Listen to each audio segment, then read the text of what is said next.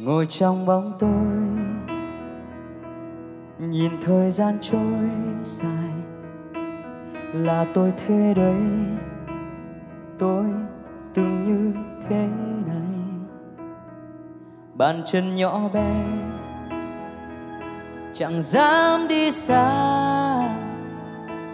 Sợ khi vấp té, tôi chẳng thể bước qua. Và bây giờ hôm nay tôi đứng đây. Để thêm lời con tim tôi muốn sẽ chứng minh thành bằng điều kỳ diệu trong tôi. Tôi đây thật vĩ thường. Tôi bây giờ đây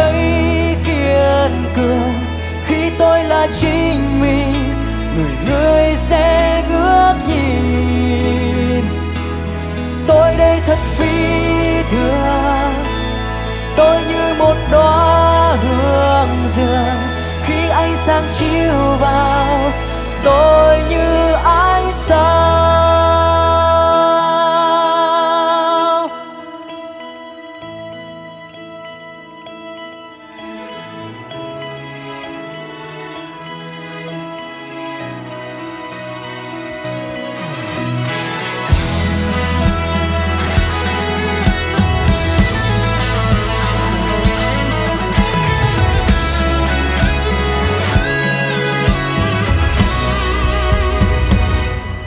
bàn chân nhỏ bé, chẳng dám đi xa. Sợ khi vấp té, tôi chẳng thể bước qua. Và bây giờ hôm nay tôi đứng đây,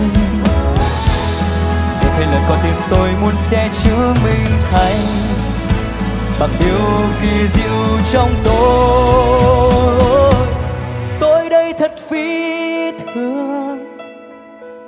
Giờ đây kiên cường. Khi tôi là chính mình, người người sẽ ngước nhìn. Đó tôi đây thật phi thường.